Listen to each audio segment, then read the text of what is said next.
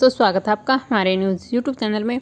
दोस्तों, एक बार फिर हाजिर हुए हैं बड़ी अपडेट के साथ। लाखों कर्मचारी और पेंशन भोगियों के लिए अच्छी खबर लेकर। जी हाँ दोस्तों, सरकार ने बहुत ही बड़ा ऐलान किया है, जिससे हमारे कर्मचारियों को फ़ायदा ही फ़ायदा होगा। हम आपको इस वीडियो के माध्यम से डिटेल से बताते हैं। तो दोस्तों, जुड़े रहिए हमारे साथ इस वीडियो के लास्ट तक। अगर आपने हमारे चैनल पर फ़र्स्ट टाइम विज़िट किया तो चैनल को सब्सक्राइब करना न भूलें और साथ ही साथ बेल आइकन को भी ज़रूर दबाएँ।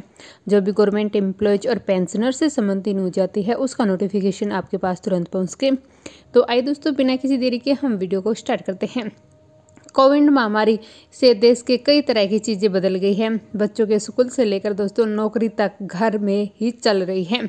दोस्तों, हम आपको बताते हैं वर्क फ्रॉम होम के बढ़ते चलन के बीच नौकरी पेशा लोगों के कई तरह के खर्च बढ़ गए हैं। जैसे कि हम बात करें इंटरनेट, टेलीफोन, फर्नीचर और बिजली के बिल पर इसका सबसे ज़्यादा असर देखने को मिल रहा है। वहीं हमारी जो सरकार ने बड़ी राहत देने की इसमें जो कोशिश की है, कोरोना महामारी से पहले इस तरह के खर्चों की टेंशन नहीं थी। ऐसे में इस बार के बजट में वर्क फ्रॉम होम करने वालों को बड़ी राहत मिलने की उम्मीद है। पिछले कुछ सालों से यूनियन बजट में नौकरी पेशा को सरकार की तरफ़ से खास राहत भी नहीं दी गई। ऐसे में इस बार वर्क फ्रॉम होम जो अलाउंस है, उसकी सौगात मिल सकती है।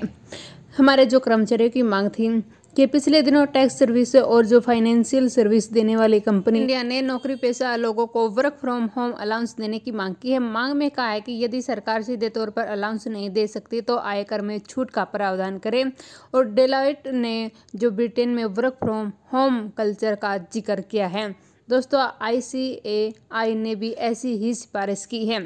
जो हमारी कंपनी की मांग है, वित्त मंत्री ने विचार किया तो घर से काम करने वाले कर्मचारी को पचास हज़ार रुपये तक का वर्क फ्रॉम होम अलाउंस मिल सकता है। इसी इसी तरह का इंस्टीट्यूट ऑफ़ चार्टर जो अकाउंटेंट ऑफ़ इंडिया ने भी बजट को लेकर इसी तरह की सिफारिश की है।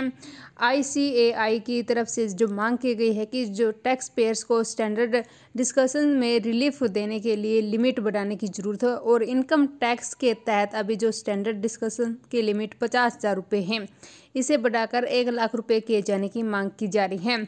हम आपको बता दें कि आय की धारा दस के तहत टैक्स पेयर्स को कुछ छूट भी दी जाती है और यह नियम काफ़ी पुराना है।